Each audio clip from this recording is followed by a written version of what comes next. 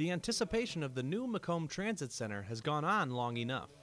The public took its first look into the new transportation hub. This has been about a 14 month project from the start of construction till the end of construction.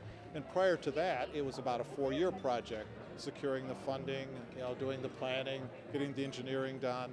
So to have it all finished is kind of a relief. Before the public got a look inside, state and federal dignitaries, along with an invite only crowd, attended a dedication ceremony.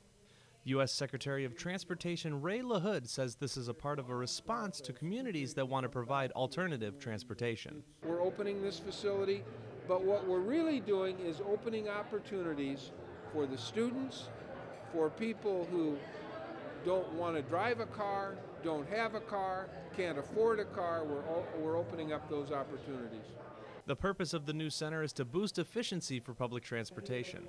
It is a hub for other McDonough County public transportation vehicles. Before, buses parked throughout the town without a garage. Macomb Mayor Mike Inman says this is the first step in cleaning up transportation in the city. The next step involves resurfacing projects for the city roads. We have more to do, and we'll undertake those projects. We uh, have a good uh, competitive bidding climate right now that's allowing us to get a lot of those things done at a very competitive cost to the city. State and federal grants funded the $14.8 million project. Jeff Monlock, KHQA News, Macomb.